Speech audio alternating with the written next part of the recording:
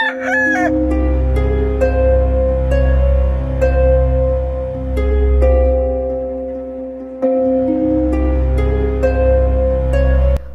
laut adalah sebuah tradisi sebagai wujud rasa syukur para nelayan atas hasil tangkapan ikan yang berlimpah.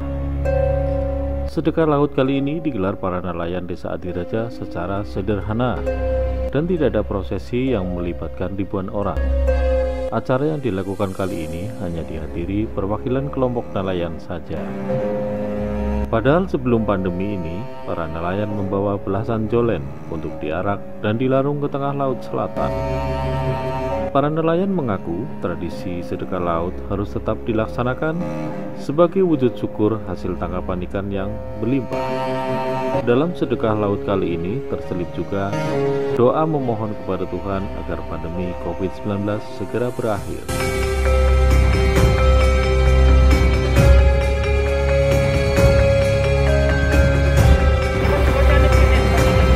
Kali ini seluruh semuanya saya ajak untuk mengikuti sebuah tradisi ritual budaya sedekah laut di Desa Adiraja, Kecamatan Adipala, Cilacap.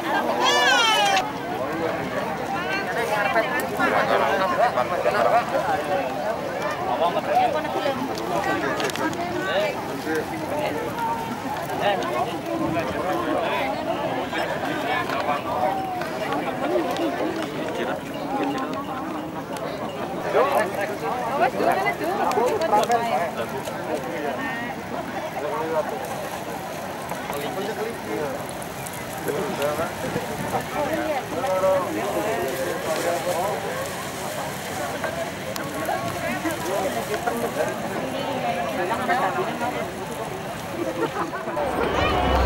っ!?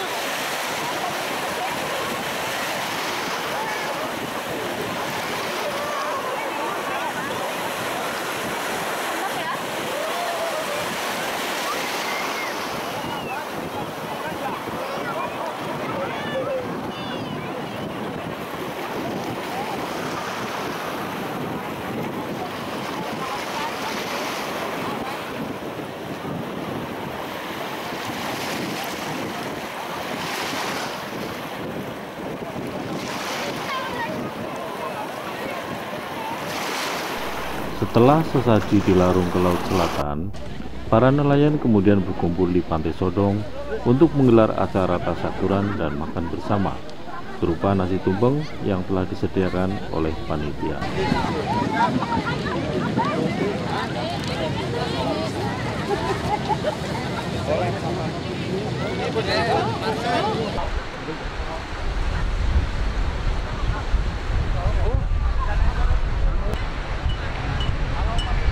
Terima kasih sekali atas bantuannya dari jadi bersama. Moga moga. Sing penting madang. Madang kok orang ini bisa mati. Enten acara nopo nih kok saya banget, Pak. Iya, ini setiap tahun kami ada ritual sedekah laut yang sebetulnya sekarang dalam pemerintahan itu diganti namanya festival laut. Festival laut. Ya. nih.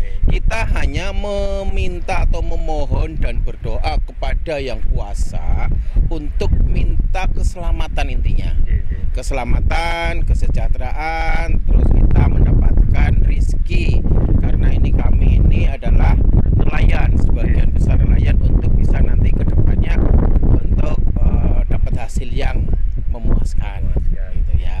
Dan biasanya ini kami setiap 17 Agustus pun Oke. sebetulnya saya sed- apa upacara di atas laut.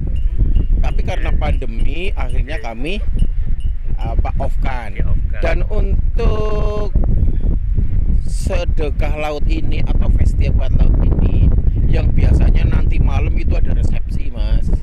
Nah, ada resepsi, tapi karena pandemi kami mentaati peraturan protokol kesehatan, akhirnya kami hanya melakukan ritualnya saja. Yang penting Iya. hajat kami, hajat nelayan itu sampai kepada yang kuasa untuk memohon keselamatan satu khususnya minta rezeki untuk kami khususnya nelayan dan tentunya warga Adiraja. Terima kasih. Kita sedulur bincang-bincang kami sedikit dengan Kepala Desa Adiraja, Adipala Cilacap. Selalu bersyukur atas apa yang telah kita dapat. Tetap semangat, semoga harapan menjadi kenyataan dan berkah tentunya. Fokus berpikir bijak agar ucapan dan perilaku kita benar. Kami atas nama Kepala Desa Adiraja mohon doa restunya semoga untuk nelayan kami nanti tetap selamat dan dapat rezeki yang banyak. Terima kasih.